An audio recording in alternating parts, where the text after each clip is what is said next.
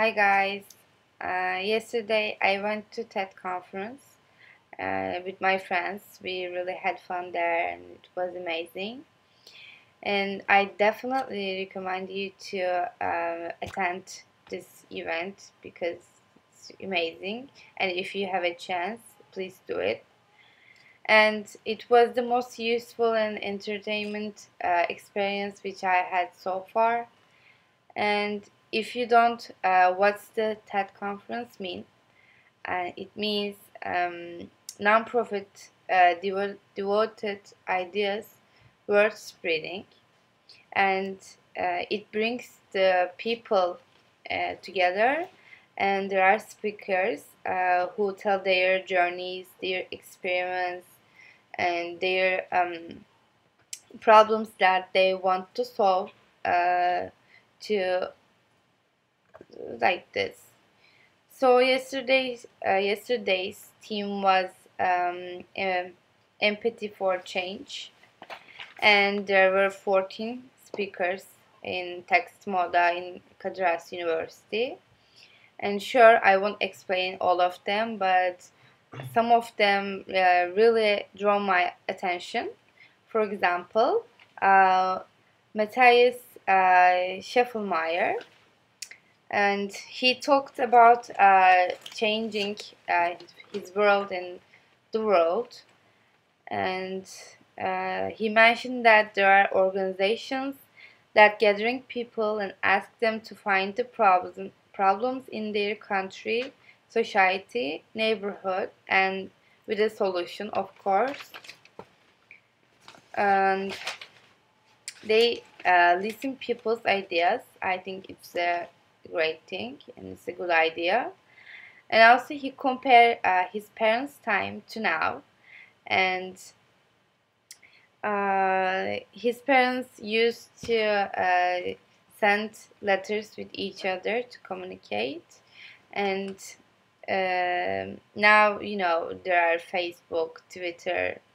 And uh, as an example of communication for now he said uh, don't talk to me, just send me a tweet. He's a very um, funny man. And he talked about uh, develop skills of uh, empathy for children. I mean, how is it possible? Uh, there is a research about that they uh, gather around uh, kindergarten children in a circle and put a baby middle of the circle. So, uh, you know, the baby won't speak and uh, their empathy of um, a skill will develop like that.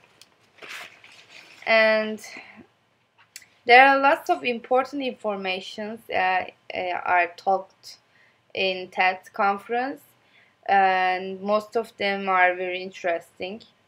And uh, when uh, Matthias was talking about inventors, he mentioned a guy named um, Karthik He's an Indian, and in 2011, um, because of his daughter uh, illness, he needed a blood transfer, but he couldn't find a regular blood transfer. So uh, he created the social blood, and it's a, a network that connects blood donors and uh, recipients and some blood types through Facebook and you can see the nearest people who is uh, blood type uh, same with yours.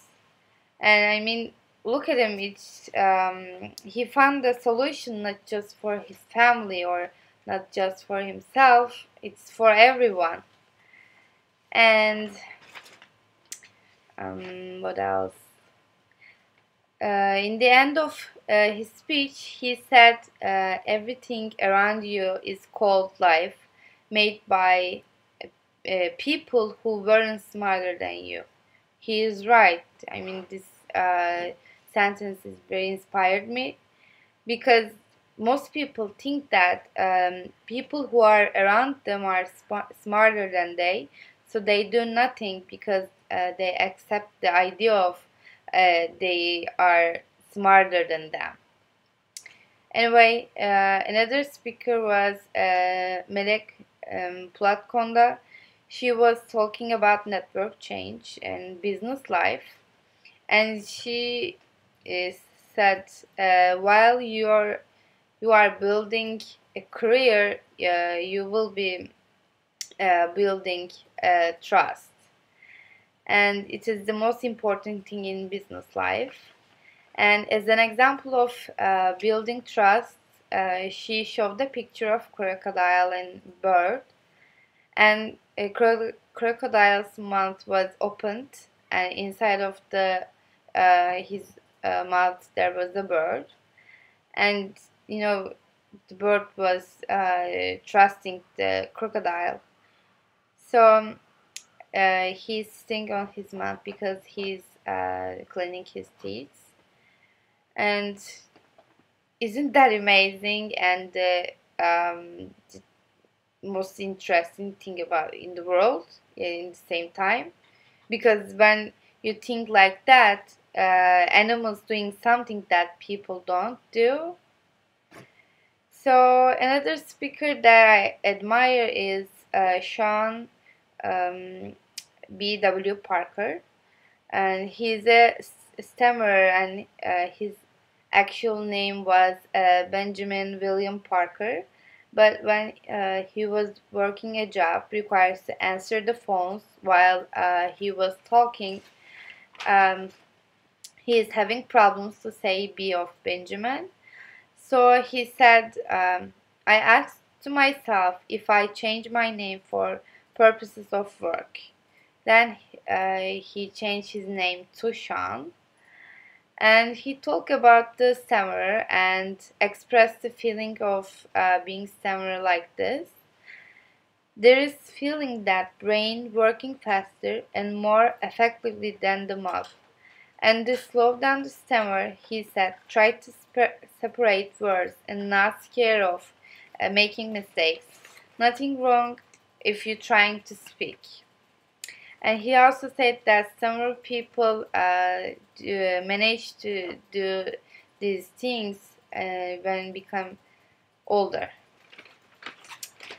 And he said uh, we need to learn, uh, enjoy the summer, not uh, fear mistakes or social pressure. I'm very proud of him because stammer didn't prevent him to talk in uh, his life and uh, there in the TED conference. So this experiment taught me lots of things. Uh, one of them is if you really want something, uh, work harder and get it.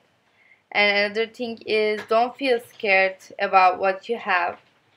And don't live for people, live for yourself and use your opportunities live uh, more happier successful and to help uh, you progress in your life. Thank you for watching me. See you